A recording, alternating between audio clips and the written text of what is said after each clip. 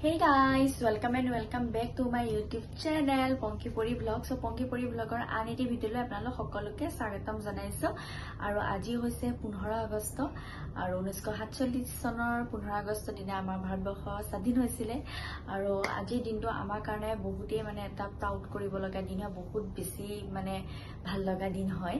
আৰু মোৰ ফালৰ পৰা মোৰ ইউটিউব ফেমিলিৰ সকলো সদস্যলৈ আৰু সকলো অসমবাসী ৰাইজলৈ স্বাধীনতা দিৱসৰ বহুত বহুত বহুত শুভকামনা যাচিলোঁ। আৰু আজি এই বিশেষ দিনটো ইমান এটা ভাল লগা দিন নহয় জানো? আৰু আজি এই বিশেষ দিনটোত মই আপোনালোকৰ মাজলৈ এটা ভিডিঅ' লৈ আহিছোঁ। আৰু আজি ভিডিঅ'টো অকণমান বেলেগ ধৰণৰ হ'ব চ' তাৰ কাৰণে আপোনালোকে ভিডিঅ'টো চাব লাগিব। আৰু তেতিয়াহ'লে গাইজ আহক ভিডিঅ'টো ষ্টাৰ্ট কৰোঁ।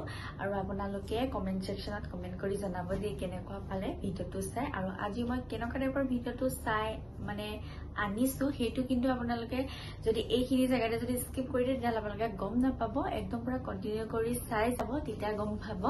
তেতিয়াহ'লে আহক গাইজ ভিডিঅ'টো ষ্টাৰ্ট কৰোঁ। আমাৰ জাতীয় পতাকাখনৰ বিষয়ে কিছুমান জানিবলগীয়া কথা। প্ৰত্যেকখন ৰাষ্ট্ৰৰে একোখন নিজৰ পতাকা থাকে আৰু এয়া হ'ল আমাৰ ৰাষ্ট্ৰীয় পতাকাৰ মৰ্যাদা। পতাকাখনৰ ৰং তিনিটা গেৰুৱা বগা সেউজীয়া। ওপৰত গেৰুৱা তলত বগা মাজত সেউজীয়া। মাজত বগা অংশত নীলা চৌবিছডাল কাঠিসহ অশোক চক্ৰটো মহান সম্ৰাট অশোকৰ চিন মেমৰেবল ডে হিচাপে ৰখা হৈছে।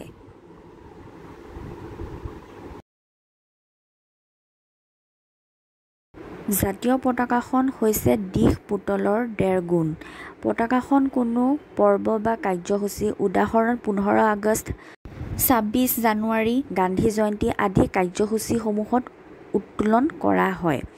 পতাকাখন সদায় সূৰ্যোদয়ৰ পিছত উত্তোলন কৰা হয় আৰু সূৰ্যাস্তৰ আগে আগে পতাকাখন অৱতৰণ কৰা হয়। পতাকাখন উত্তোলন কৰোঁতে সেউজীয়া ৰংটো তলৰ ফালে থাকে। উত্তোলনৰ সময়ত দণ্ডডাল সদায় পোন কৰি ৰাখিব লাগে হেলনীয়া হ'ব দিব নালাগে। আমাৰ জাতীয় পতাকাখন ত্ৰিৰংগা বুলিও কোৱা হয়। পতাকাখনৰ ৰংবোৰৰ উদ্দেশ্য জনোৱা হওক। গেৰুৱা ৰং ত্যাগ আৰু সাহস বগা ৰং শান্তি আৰু সাহস সেউজীয়া ৰং বিশ্বাস আৰু শৌৰ্য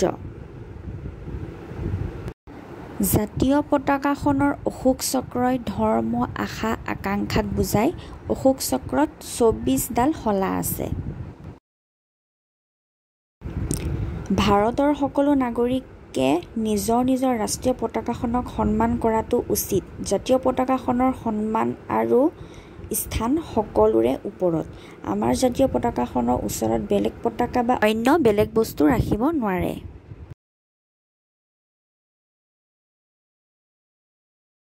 পোন্ধৰ আগষ্টৰ দিনা মানুহৰ ঘৰে ঘৰে জাতীয় পতাকা উত্তোলন কৰিব লাগে আৰু সূৰ্যাস্তৰ পূৰ্বে নমাব লাগে। অফিচ কাছাৰী আদিতো উত্তোলন কৰা হয়। আমাৰ ৰাষ্ট্ৰীয় গানটো বাৱন্ন ছেকেণ্ড গাব লাগে।